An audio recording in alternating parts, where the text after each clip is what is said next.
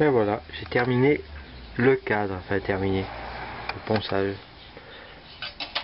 Regardez voir un peu, tout le cadre du Solex est là. Bien rangé. Je vais le mettre dans le chiffon pour pas qu'il prenne l'humidité, la poutre. Ça y est, j'ai fait la béquille, intérieur, extérieur. C'est l'inverse, mais c'est pas grave. J'ai repris la poutre et j'ai repris aujourd'hui toutes les petites pièces. elles sont, là-bas dessous. J'ai tout repris. Ensuite donc dégraissage, un petit ponçage léger quand même. Là sur ce genre de partie là. Parce que la rouille elle, était épaisse hein, quand même. Donc petit ponçage, dégraissage et passage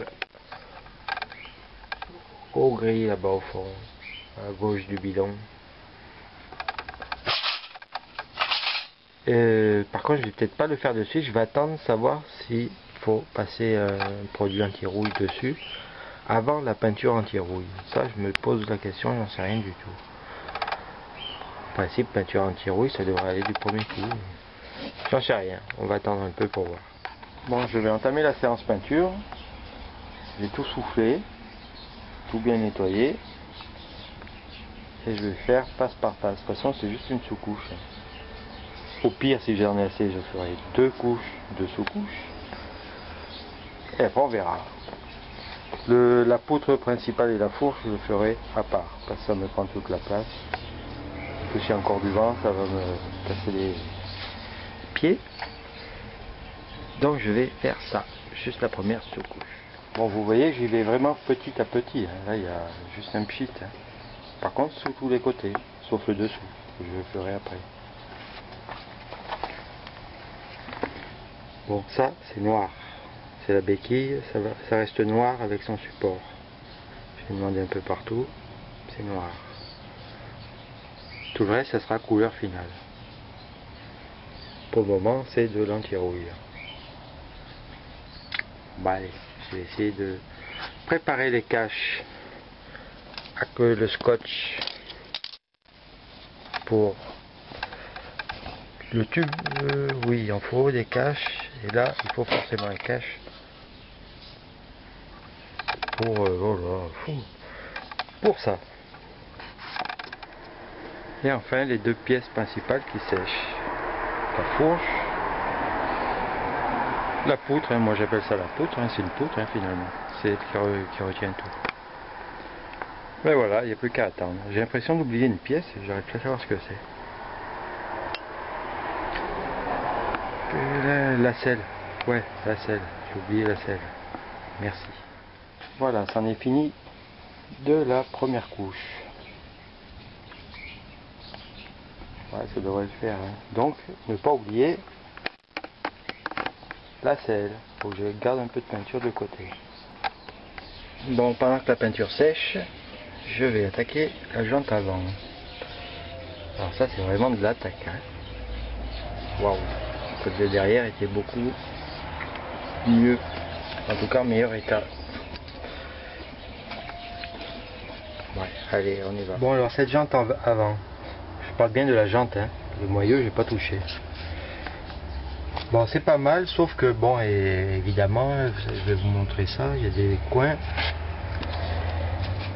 surtout sous les flancs, puisque c'est des, des patins de frein qu'il y a, donc ça a pu s'attaquer le chrome. C'est très rouillé, on ne pourra absolument rien faire, genre ces, trucs-là aussi. Mais bon, je vais quand même l'attaquer un peu plus fort la prochaine fois.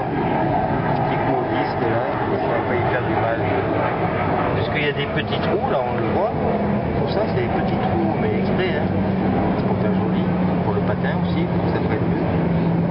Je pense qu'on peut nettoyer l'intérieur des petits trous. Je ne peux pas le faire à la main. Donc voilà, c'est pas mal. Et, pardon, j'ai remarqué un truc. Ah, ça, ça me plaît. Regardez les jantes.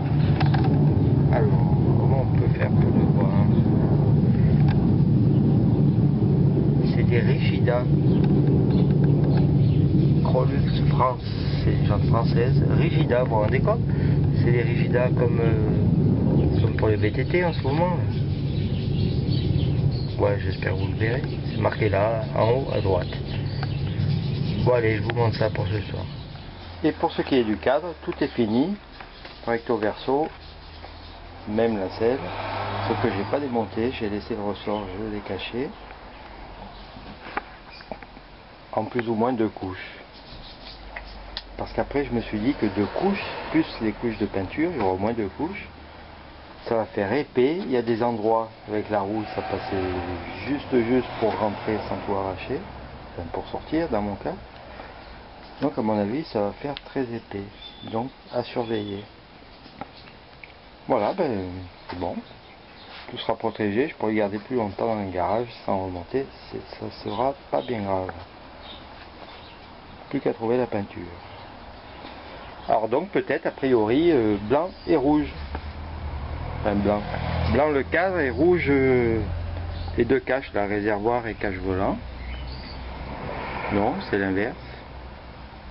Je sais plus, rouge le cadre ou blanc, ça dépend. Histoire de mettre deux virgules rouges. Ou alors à l'origine, bleu atoll, ça s'appelle.